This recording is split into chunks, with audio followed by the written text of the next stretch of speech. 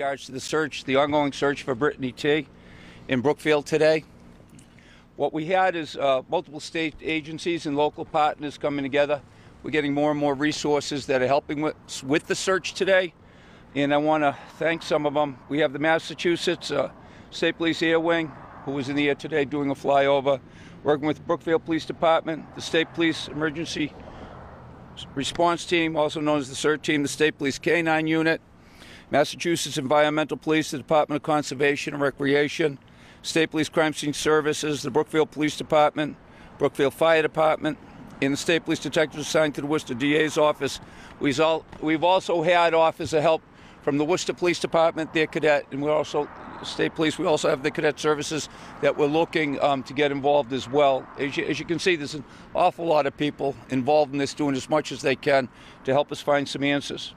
Also, very importantly, we've had some great tips that have come in, but uh, you know, some people are afraid to give tips because they're not anonymous. Well, we have an anonymous tip line uh, that we'd like to people to call with any information that they might have.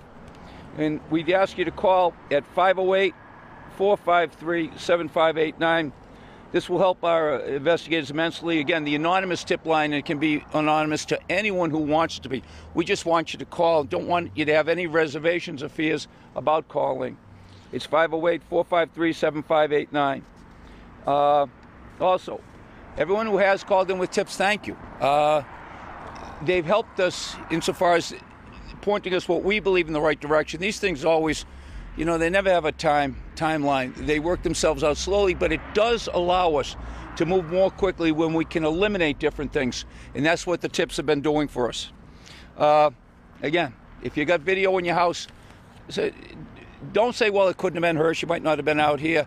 Check your check your video. I know people get home from a, a day of work. It, it's something that they're not looking exactly to do, but it can help us. It can help the family. It can help the searchers. It can help everyone involved here. Um, also, check your campus, check your buildings, check your garages, check your sheds. Anything that is a spot where a person may look to get out of the elements, um, just take a look. As a reminder, Brittany was seen last Tuesday on January 10th leaving a residence on Main Street in Brookfield. She's 35 years old, 5 foot 6, 120 pounds, blue eyes, and was last seen wearing a black winter coat, hoodie, jeans, and work boots. Uh, that's all pretty much we have for today. I'll take a few questions after the chief speaks. Uh, we're going to let the investigators do their work. They're professionals, and you don't see everything that they're doing. But but but when I tell you, it, it's amazing the work that they do, the intelligence in in the. Um, experience they bring to bear when we have these situations it's just amazing it's very uplifting and it's helpful to the family um, again I, I want to reiterate uh, it's a search it's not a crime scene um, in everyone we're talking to has been cooperative. It's not a crime scene. In this search, everyone that we're talking to has been cooperative, and we thank them for that. Chief? Thank you for coming out. Again, I'm Chief Mike Blanchard, Brookfield Police Department. I want to thank everyone that's called in tips so far. Um, I want to remind everyone of the new tip line number to streamline tips, and it's 508 453 7589 and I continue to encourage people to call in tips as they have them, no matter how big or small they think they may be. Um, I also understand that, that, the longer this goes on, the more frustration and, and, anxiety builds amongst people. But I want to remind everyone to remain positive, keep Brittany and her family in your thoughts and prayers, and, and continue to hope for a, a, safe return of Brittany. And I also want to thank Brookfield Fire Chief for being his well, and his men and women who are also giving a hand with this. Uh, do you think she's still in the area here? Do you think she was kidnapped? Um, we, we have nothing, Scott, that would suggest she was kidnapped. We do believe she's in the area. Um, there, there are multiple possibilities. Um, that's why we're asking for help. Again, it's, it's a search. It's not a crime scene. It's a search. How many of the citizens were out there searching today? Yeah.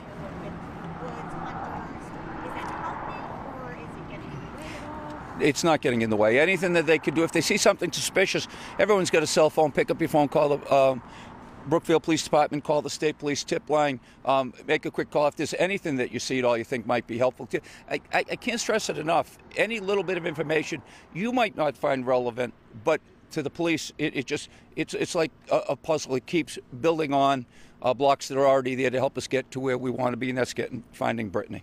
How much has the search radius expanded by? Uh, I, I, think it's up to about three miles now, uh, but you know it, it will get even bigger. Um, anything that anything that we need to do with, with regards they they need to do with regards to the search, they're going to do. What's the status on subpoenaing um, her cell phone records? We're looking at her cell phone right now. We, we have her cell phone. We have her laptop. Those are the things we're looking at. We have her car. That's that's been inventoried uh, by the Brookfield Police Department uh, yesterday. Uh, we, So you do have the cell phone and the laptop? yes. Was that her because you were searching today for the skis? No, no, no. That no. Um, I wasn't involved in the search, but I, I, the search I did witness the other day was going through a car. I think she has a white Jeep, something like that. Yeah. Whose vehicle was that today with the skis? I, I don't know. I don't know. He is the last person that saw her being cooperative with the police in terms of what he knows. Yeah, yeah, he is. No, again, Scott, th- th- there are no suspects right now. He, um, her boyfriend's been very cooperative with us. Everyone's been very cooperative with us. And, and, and you know, and, and it, that is encouraging. We've been through a lot of these investigations. When you get everyone cooperating, is it a good sign? Yes. In terms of whether or not it's a search or a crime scene. All right. Thank you, everybody. Thank. You guys need your tip line? Listening to the Worcester County DA Joe Early give an update on what investigators have been doing in Brookfield today. Uh, right now, let's just listen to We do not have her cell phone. We have her laptop. We do not have her cell phone. Um, and we're looking at the records on that. Okay? Do you have any photo of this cell phone? Do you have a SIM card? Yeah, well, right now it's part of the investigation. She had the cell phone. She had the cell phone. The cell phone's with her. Okay? Thank you. Okay, DA Joe Early just clarifying that one piece of information about Brittany Tee's cell phone. You want to be anonymous, they'll be anonymous. All right, thank you, everybody. 35 year old Brittany Tee of Brookfield has been missing for a week now. Uh, she was living there with her boyfriend. She was last seen wearing a black winter jacket, hoodie, jeans, and work boots. And Massachusetts State Police expanded their search today in the hopes of trying to find anything that will lead them to finding Brittany. Uh,